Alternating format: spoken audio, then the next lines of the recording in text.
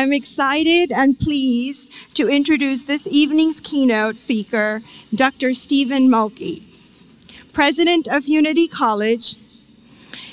As the President of Unity College, he has championed sustainability science, which he sees as the defining framework for academic programming at Unity and beyond.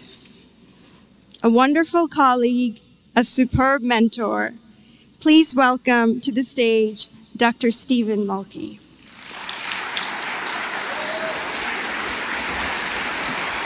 Thank you, Mama. Give me a hug. Thank you so much. Good evening, ladies and gentlemen. I am uh, honored and privileged to be here and also humbled. Uh, I too am disappointed because I was looking forward to dinner with David Orr tonight, and that's not going to happen, but I hope he does get here later. Um, David is one of my heroes, um, and he has been for 30 years. And so, what I'd like to talk to you about is our critical mission uh, in what I think is going to be known generally as the environmental century. This is where push comes to shove, and everybody in this room pretty much knows that. But I'd like to show you a little bit of data first, and then I'd like to talk about what some of the serious impediments are in higher education to engineering the curriculum in the way that it needs to be engineered in order to deliver on the promise. So um, let me begin with a quote from David. All education is environmental education. By what we include or exclude, we teach the young that they are apart from or a part of the natural world.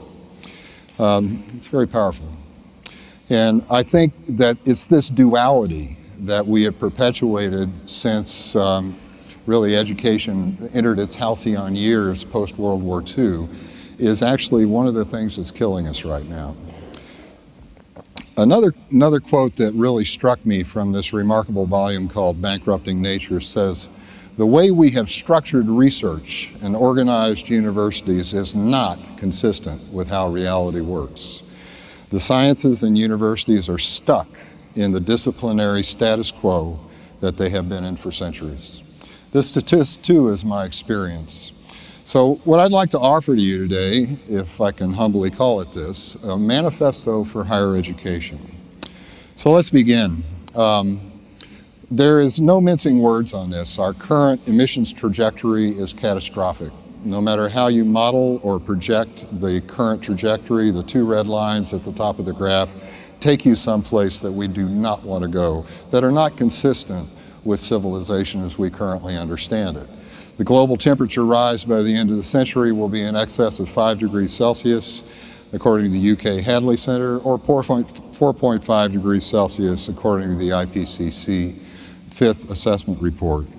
The concentrations of CO2 are higher now than in 4 million years, and the rate of increase is almost is more rapid than it has been in 65 million years. I'm an ecologist. I'm trained as a tropical forest uh, ecologist. I've worked on form and function of tropical trees and plants for 25 years or more, affiliated with the Smithsonian. So one of the things that really draws out my attention is what I'm calling the overlooked ecological imperative. The climate zones are moving faster than many organisms can adapt or migrate. And this is going to put a premium on our management and our adaptive management plans. And what I'd really like to talk to you a little bit about tonight is what the role of higher education is in bringing those to the fore. It's not just the climate zone shifts, it's also oceans worldwide. This is the Gulf of Maine, where I currently live. And you can see that surface and deep waters are now at 150 year record high and uh, the consequences of this are manifold. Uh, if we look at the distribution of sea surface temperatures around the world, we find something very unusual. Right at the tip of Greenland is this very, very cold spot. And that's being generated by the melting of the ice in Greenland in enormous quantities. And this Gulf Stream apparently is slowing, and partly as a consequence of this. This indicates a change on a millennial timescale. In fact, there's unprecedented cooling of the North Atlantic in, in over 1,000 years. So it's obvious. humanity is at a crossroads. There's no question about it. Um, by 2030, we'll need two planets. Um, this can't go on, obviously. Um, over the next 40 years, we'll need to produce as much food as we have in the last 8,000 years in order to feed our population. And the population is projected to continue to expand to between 9.6 and 12.3 billion souls by 2100. This is very sobering.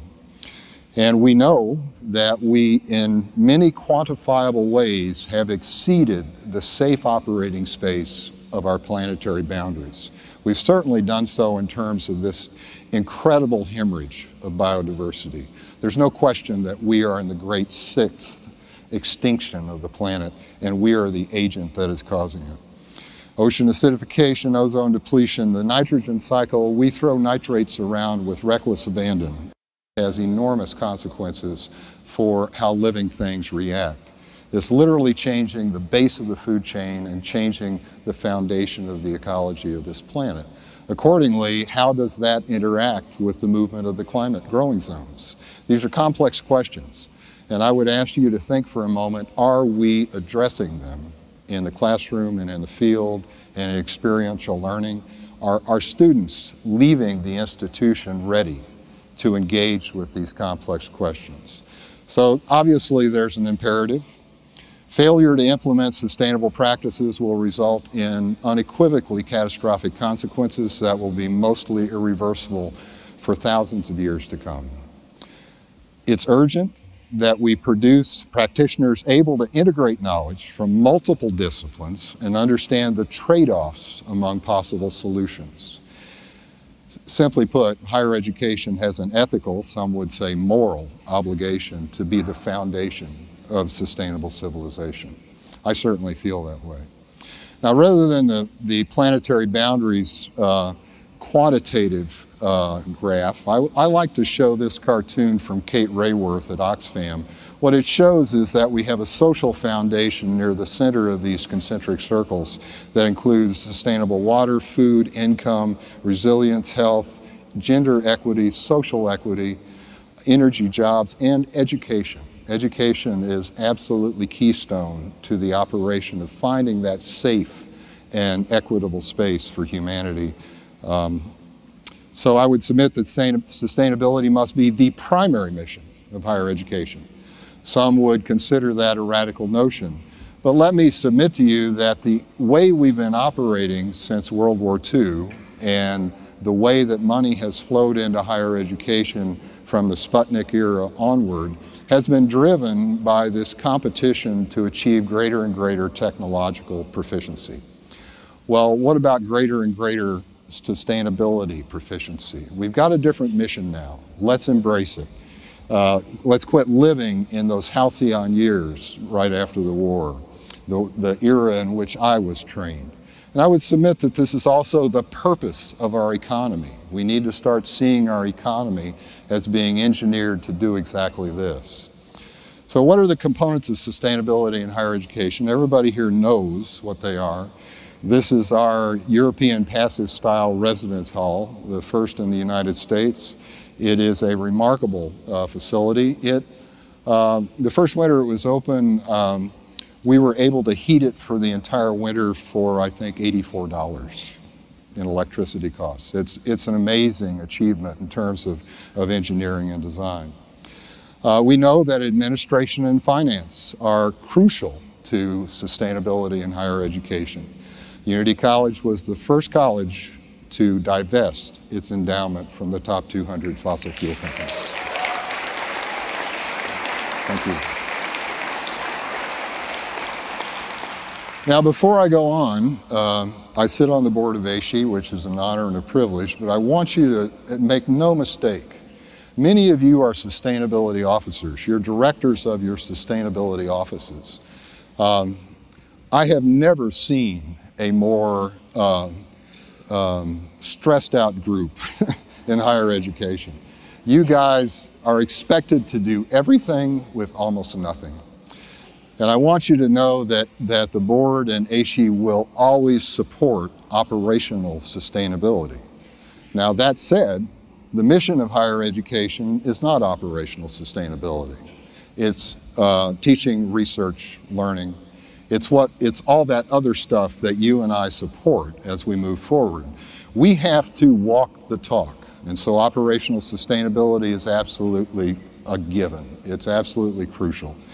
But really, it's the academic and co-curricular where the rubber meets the road, and we've really got to get with it because it's not happening. Uh, if we look at where that nexus occurs in the uh, group of uh, academic enterprises at the undergraduate level, we find that it's a, it's a nexus among natural systems, sustainability solutions, and social systems. One of the things that's often missed, left out of our approach to solutions is that social primate part of the equation. And if we look around the country and we ask the question, where are there four-year institutions offering interdisciplinary environmental and sustainability degrees, we can puff ourselves up and feel pretty good. Right? We got a lot, got a lot of coverage there. It's looking looking great. Um, however, let's look a little more closely. In fact, if you look at the average scores in, in STARS, the AASHE data suggest a substantial emphasis by member institutions on sustainability in education and research. Well, let's start to dissect the data a little bit. Uh, I've been working with Shirley Vincent at the National Council for Science and the Environment and the Council of Environmental Deans and Directors, and she has uh, taken a very hard-nosed approach.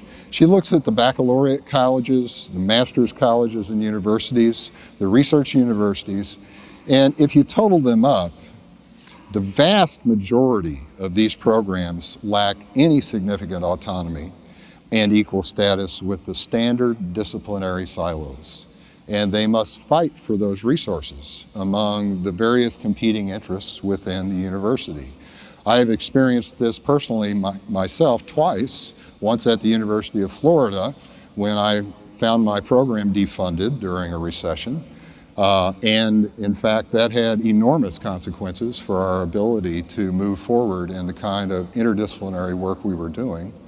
It also happened again at the University of Idaho.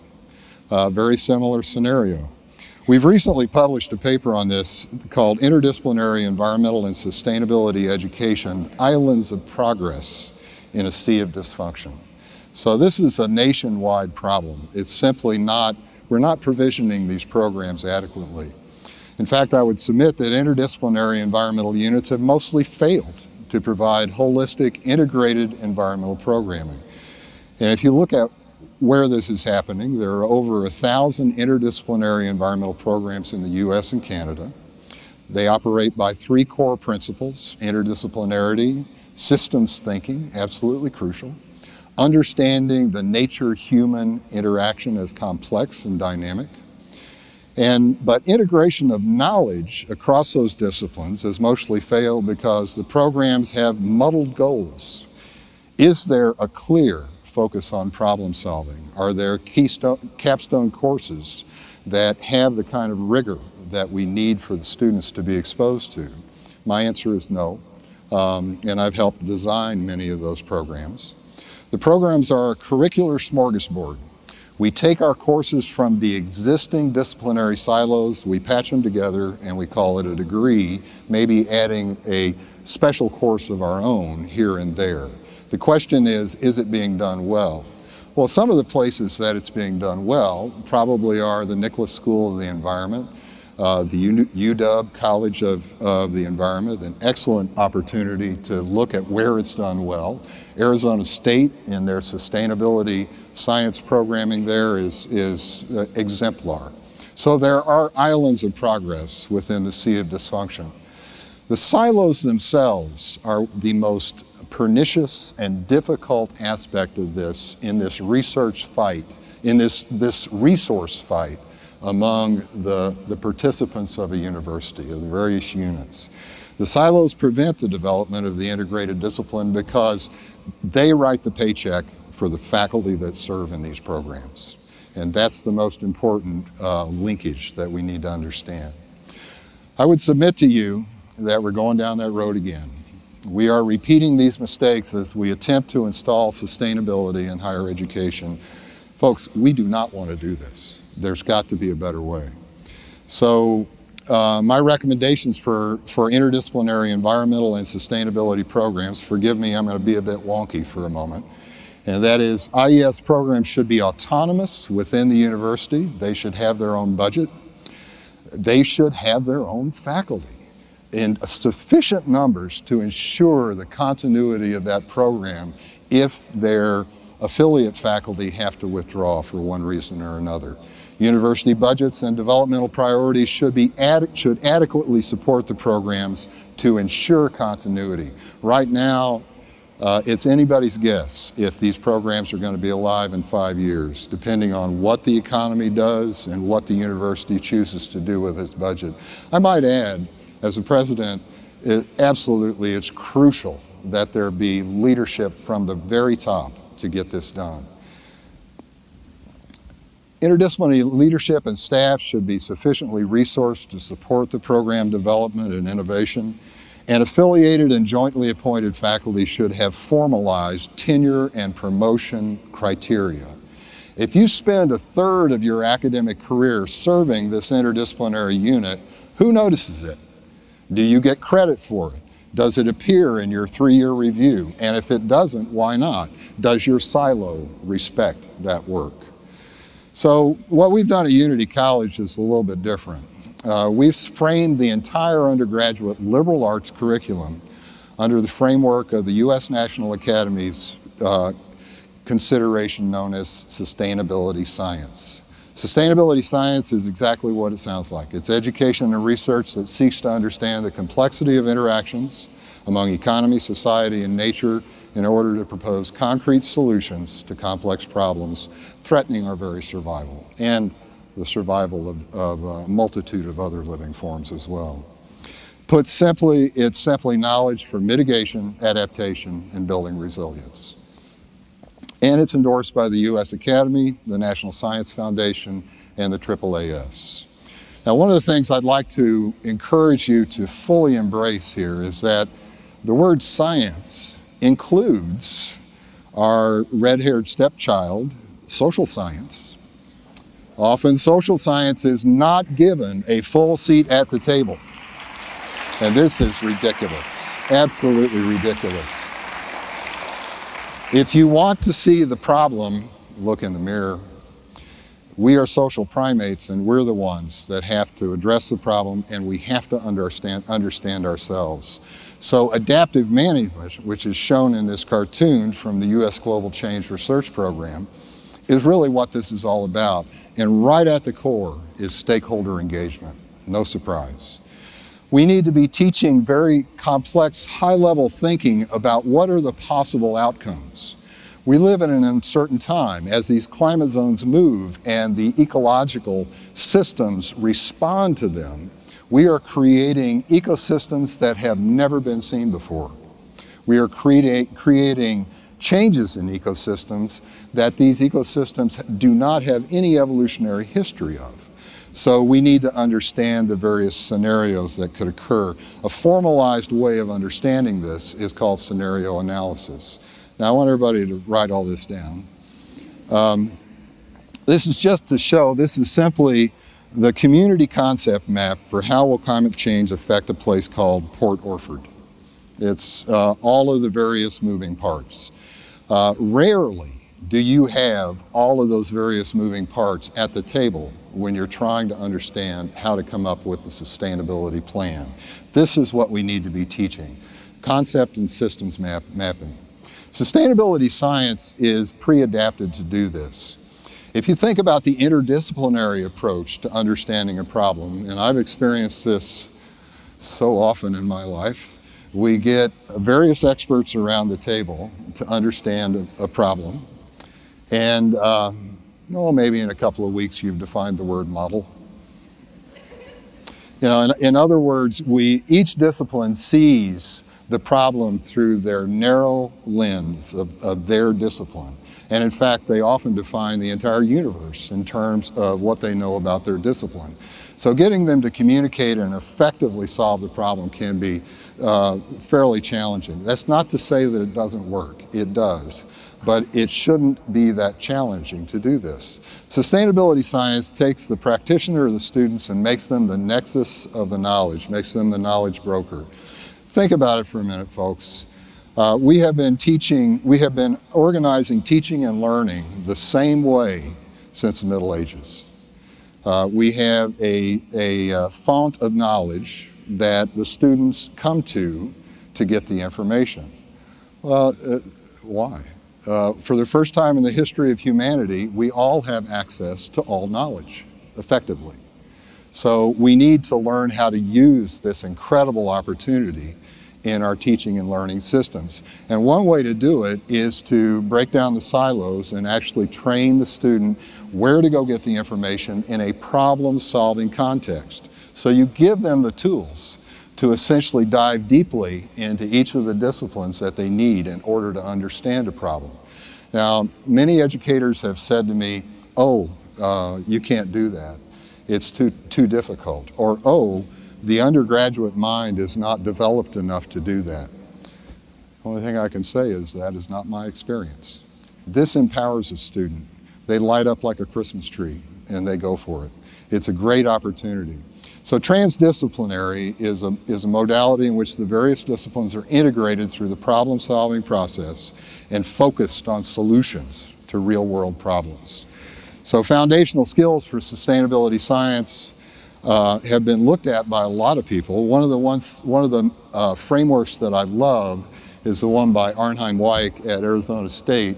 And he talks about systems competency, anticipatory competency, strategic competency, normative competency, all leading to interpersonal competency, how we deal with one another. If you think about it for a moment, there is no equation in here for ozone depletion.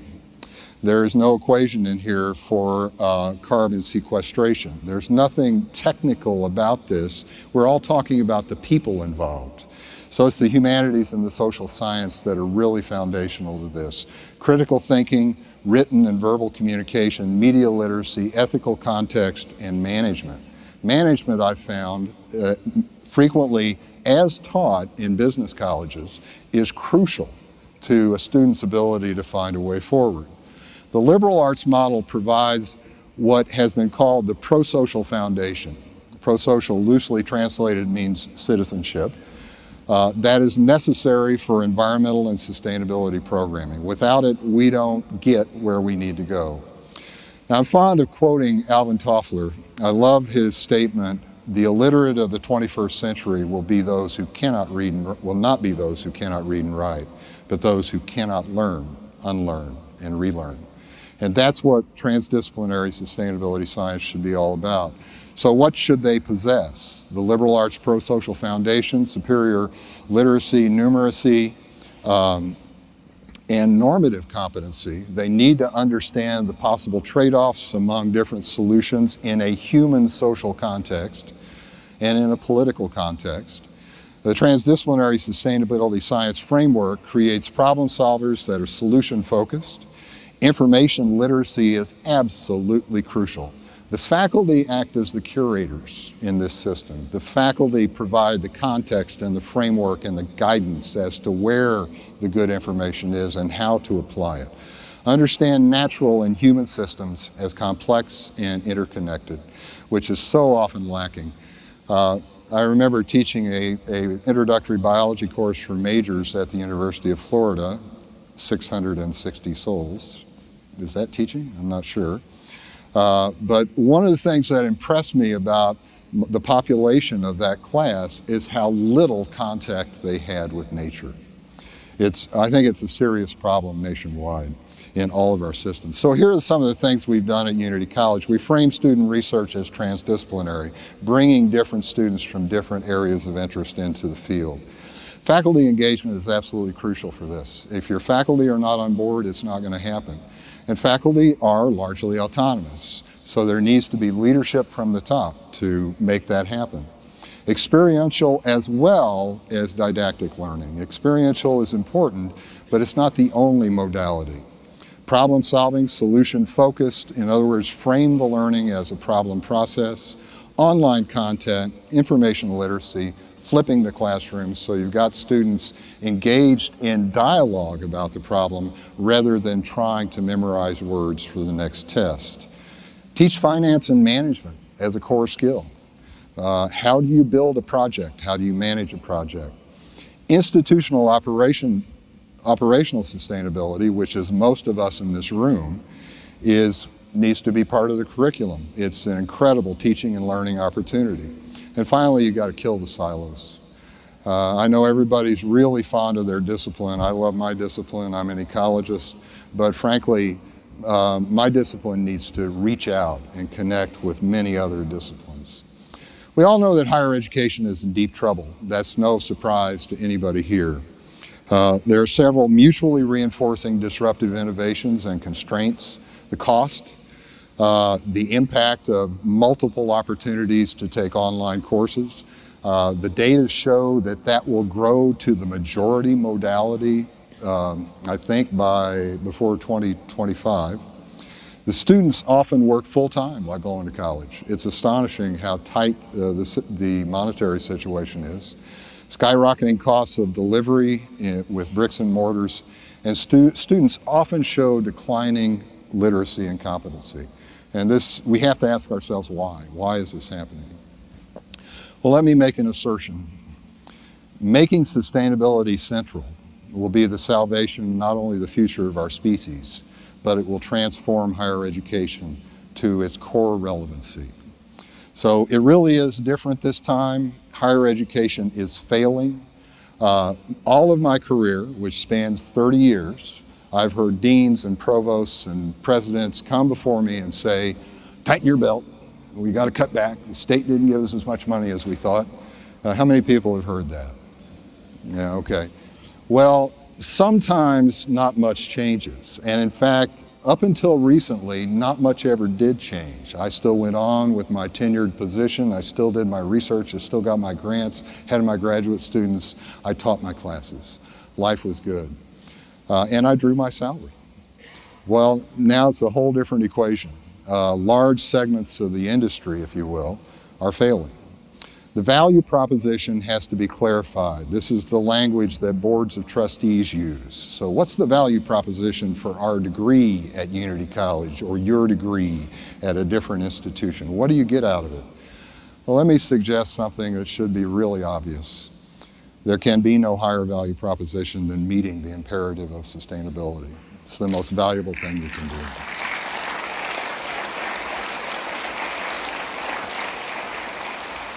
Now, boards of trustees often don't want to hear that. They want to say, well, how much money will they make when they get out? Well, keep calm, get a job.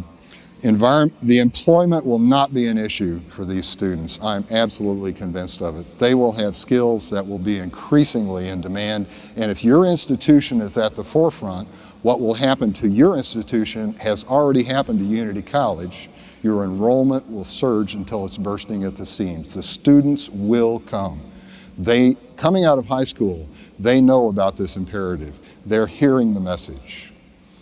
So in essence, we need to create a knowledge-based economy rather than a commodity-based economy per se and a, and a, manufacturing economy. Let's look at knowledge as the transactional currency and how do we build that within colleges and universities. We're going from an era of resource, resource abundance, value in transactions, business stability, well-defined industries, one-way markets, limited information, and we're moving to a system of resource constraints, value and relationships. Business is highly in flux. Transactions go both ways all the time. Disruptive innovations are very common. Industry transformation is underway. Two-way markets, information abundance. Everybody can get the information. You do not own it. And that's a whole new different, that's a new, new ball game for how uh, business can be operated. We need to be teaching it. Now, Mark Jacobson and his colleagues at uh, Stanford produced a remarkable series of papers in which they made the outrageous claim that we can provide all global energy with wind, water, and solar. Um, and these papers have been attacked from a variety of different corners. Um, I have yet to see an attack that fundamentally damages their quantitative analysis. Here's Mark. He says the barriers to powering the world with wind, water, and solar by 2050 are primarily social and political, not technological or economic. So true. There's evidence that this is true from numerous quarters.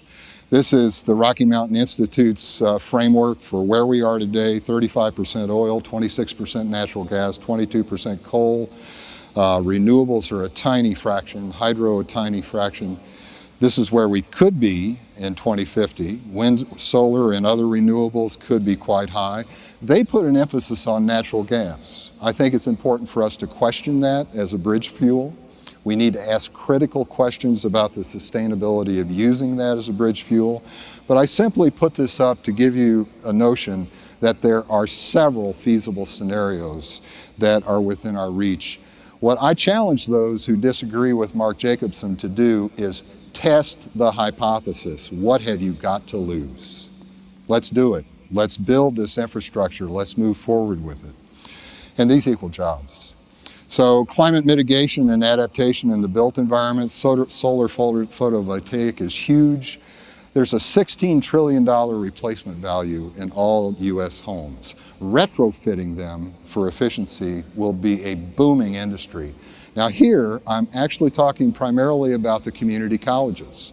What kind of training programs do the community colleges have in this? And many of you in this room from community colleges are thinking along these lines, and many of you have excellent training programs exactly for this. Solar hot water, geothermal, sustainable pellet heating, that needs to be looked at very carefully. Pa there's our passive house, uh, and, and, that kind of design and retrofit is a huge opportunity. Overall, efficiency retrofits are still the low-hanging fruit. They were the low-hanging fruit in the year 2000 when I got into this, and it's still the case. We've, we've nowhere near scratched the surface. We've got to adapt ag agriculture. This is the AgMIP program from the USDA and NASA.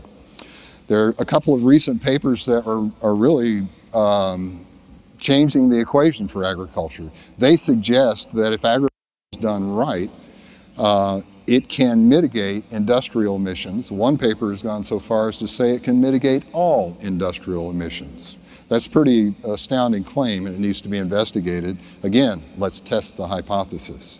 Managing impacts on biological communities. Uh, this is the famous diagram showing you that as the century progresses, New Hampshire will ultimately have the same climate as North Carolina and Virginia. Uh, I think that would be uh, a remarkable development for the, the residents of New, New Hampshire. They might actually welcome that.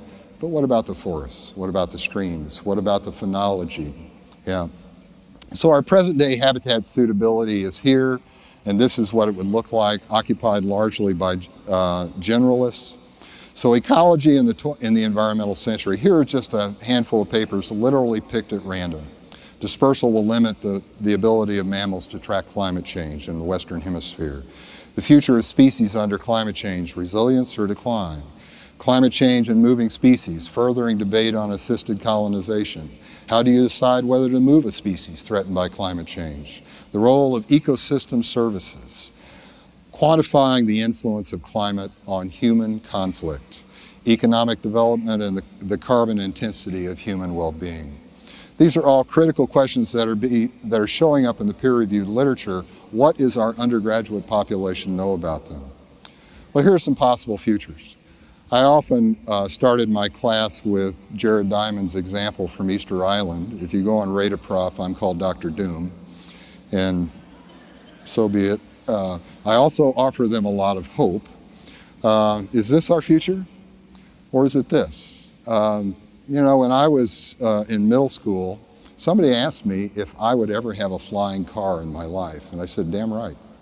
Where's my flying car? I'm 60. I, where's my flying car? It's not there. These are more realistic alternatives. The bottom, bottom image is modern day Mumbai. The top image is possibly something we could have. And we need to be working toward that. Let me end with this quote from Martin Kehoe, which has always inspired me. If you look at the science about what is happening on Earth and you aren't pessimistic, you don't understand the data. But if you meet the people who are working to restore this earth and the lives of the poor and you aren't optimistic, you haven't got a pulse. Ladies and gentlemen, many of those people are in this room tonight, and I'm so proud to be among you. Thank you very much.